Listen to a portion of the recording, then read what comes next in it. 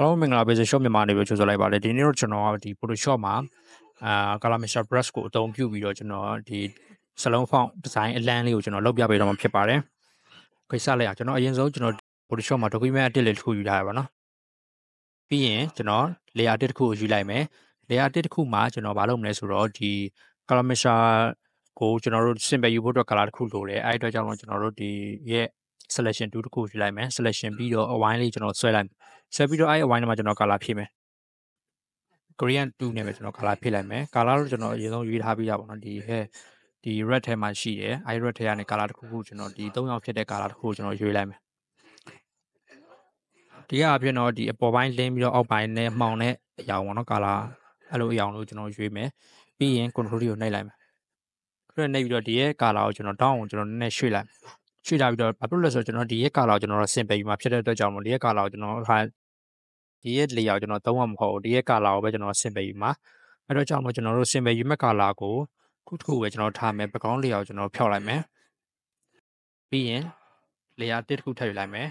ယူပြီးတော့ကျွန်တော်တို့ Mr. Brad 2ကိုကျွန်တော်ယူလိုက်မယ်ယူပြီးသွားတဲ့အချိန်မှာကျွန်တော်တို့ clean brush ကိုနှိပ်လိုက်မယ်ပြီးတော့ကျွန်တော်တို့ဒီရဲ့ color ကိုကျွန်တော်တို့က simple ယူမှာဖြစ်တဲ့အတွက်ကြောင့်မလို့ brush size ကလည်းသူ့ရဲ့ဒီကျွန်တော်တို့ယူမဲ့ဒီ simple color ရဲ့ဒီ site လောက်ဖြစ်နေမှရမယ်။ Okay အဲ့ဒါပြီးရင်ကျွန်တော်တို့ order ကိုဖိထား order ကိုဖိထားပြီးတော့ဒီရဲ့ color ကိုကျွန်တော်ယူလိုက်မယ်။ Okay ယူပြီးတော့ပြီဆိုတော့ဒီမှာကျွန်တော်တို့ယူထားတဲ့ color ဒီဘက်နာမှာလာပေါ်လိုက်မယ်။အဲ့ဒါခွေလာပေါ်ပြီဆိုရင်ကျွန်တော်တို့ရပြီကျွန်တော်ရေးလို့ရပြီစပြီးတော့အရင်ဆုံးကျွန်တော်စမ်းကြည့်မယ်။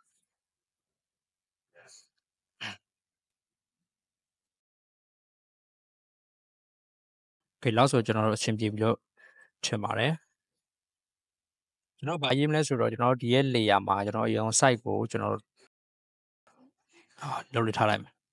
site ကိုလောက်လေးထားပြီးတော့ကျွန်တော်ပန်တူးယူလိုက်မယ်ပန်တူးယူပြီးတော့ကျွန်တော်တို့ဒီ hello ဆိုပြီးတော့ကျွန်တော်ရေးလိုက်ပါတော့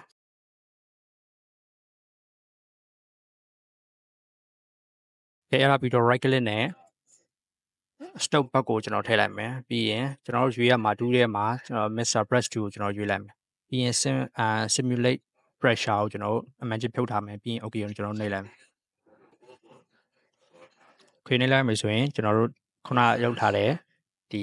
2D style ပေါ့နော်အဲ့လိုမျိုးဒီစလုံးအလန်းစားလေးကိုကျွန်တော်ရမှာဖြစ်ပါတယ်ဒါပြီးရင်ကျွန်တော်တို့ဘက်ကိုဖြုတ်လိုက်မယ် control D နှိပ်လိုက်မယ်အာတူနဲ့ light ဖက်တဲ့ကျွန်တော် background တစ်ခုရေးမယ်နော် ခုကျွန်တော်ရွေးမယ်အဲ့ဒါနေပြီးတော့ကျွန်တော်တို့ဒီအရှိမလဲကျွန်တော်တို့ကဒီအနီရောင်နဲ့ပတ်သက်တဲ့ color တစ်ခုရေးထားတာဆိုတော့ဒီ background ကလည်းအနီရောင်နဲ့ပတ်သက်တဲ့အဟာတစ်ခုဖြစ်တာပိုကောင်းတယ် gradient ကိုကျွန်တော်နှိပ်လိုက် gradient မှာကျွန်တော်တို့ဒီ red ဆိုတဲ့အရှိရယ်အဲ့ဒီကဒီရဲ့ color တစ်ခုကိုကျွန်တော်ရွေးလိုက်ဒီရဲ့ဟာဆိုတော့မိုက်တယ်အဲနောက်က background နဲ့တောက်နဲ့ပုံစံမျိုးဖြစ်ပြီးတော့ရှေ့ကနဲ့လင်းနေတဲ့ဟာလေးပေါ့နော်အဲဆိုတော်တော်လေးကောင်းတဲ့အရာဖြစ်ပါတယ်အာနောက်ပြီးတော့ကျွန်တော်ဒီရဲ့ ဒီလိုမျိုးပုံစံနဲ့ဆက်ဆက်ပြီးတော့နောက် design လေးကိုလည်းနောက်ထပ် design တွေကိုလည်းကျွန်တော်ထပ်ပြီးတော့ဗောနော်ဆက်ဆက်ပြီးတော့ဖန်တီးလို့ရပါတယ်။ဒါဆိုရင်ဒီရဲ့ color master plate 2နဲ့ဒီလိုမျိုးထပ် design လေးကိုဖန်တီးတတ်မယ်လို့ထင်ပါတယ်။အားလုံးကျေးဇူးတင်ပါတယ်။နောက်ပြီးတော့ကျွန်တော်တို့ position မြန်မာမှာ Photoshop နဲ့ပတ်သက်တဲ့ tool တွေအခြေခံတွေ Illustrator နဲ့ပတ်သက်တဲ့ tool တွေအခြေခံတွေပြီးရင်ကျွန်တော်တို့အာကျွန်တော်အလုပ်လုပ်နေတဲ့ graphic design နဲ့ပတ်သက်တဲ့အခြေခံတွေကိုကျွန်တော်ဒီ Business Shop မြန်မာမှာကျွန်တော် YouTube channel မှာရော Telegram channel မှာရောခါမဲ့ကျွန်တော်တင်ပေးတော့မှာဖြစ်ပါတယ်။ကျွန်တော်ရဲ့ YouTube channel နဲ့ Telegram channel ကိုလည်း subscribe လုပ်ထားလို့ရပါတယ်